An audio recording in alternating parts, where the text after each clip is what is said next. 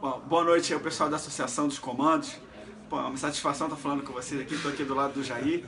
Pô, a nossa ideia é passar uma mensagem de esperança aí para né, os comandos que se dedicam tanto aí, fazem um curso tão duro, tão difícil, e ao término aí de 7, 8 anos acabam indo né, para fora da força. É, no que depender de mim, não é questão de apenas falar por falar, né? Sei da formação difícil de vocês, sou paraquedista também, sei ó, o complicado que é, a dificuldade do curso e do valor que vocês têm para uma nação do tamanho do Brasil. E vocês têm que partir para a linha da estabilidade somente através de uma proposta de emenda da Constituição isso é possível, né?